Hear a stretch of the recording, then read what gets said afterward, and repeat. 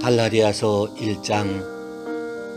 사람들에게서 난 것도 아니요 사람으로 말미암은 것도 아니요 오직 예수 그리스도와 그를 죽은 자 가운데서 살리신 하나님 아버지로 말미암아 사도된 바울은 함께 있는 모든 형제와 더불어 갈라디아 여러 교회들에게 우리 하나님 아버지와 주 예수 그리스도로부터 은혜와 평강이 있기를 원하노라.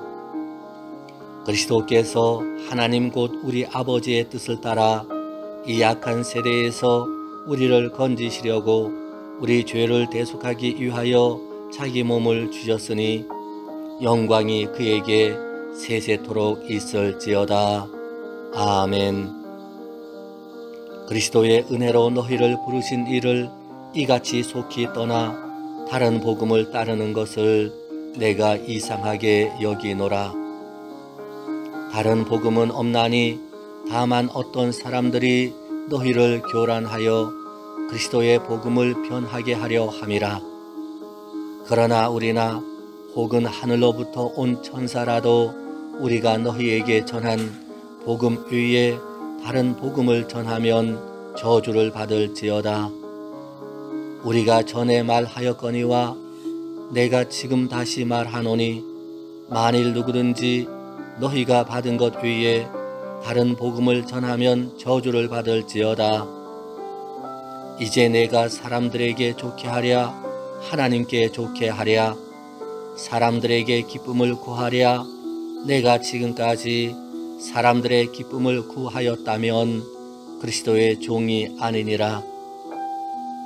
형제들아 내가 너희에게 알게 하노니 내가 전한 복음은 사람의 뜻을 따라 된 것이 아니니라. 이는 내가 사람에게서 받은 것도 아니요 배운 것도 아니요 오직 예수 그리스도의 계시로 말미암은 것이라.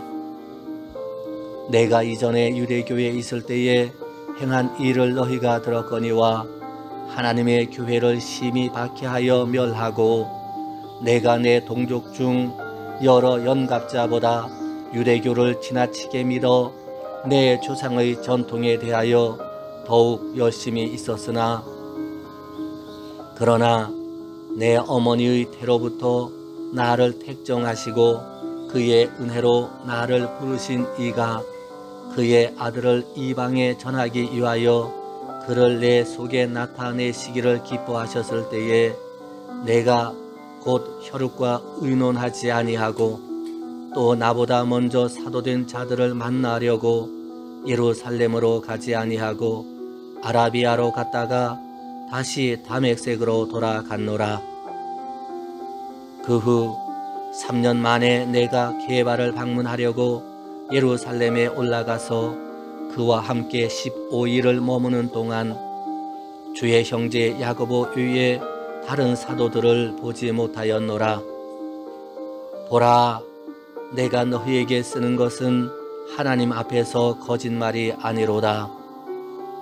그 후에 내가 수리아와 길리기아 지방에 이르렀으나 그리스도 안에 있는 유대의 교회들이 나를 얼굴로는 알지 못하고 다만 우리를 박해하던 자가 전에 멸하려던 그 믿음을 지금 전한다 함을 듣고 나로 말미암아 하나님께 영광을 돌리니라.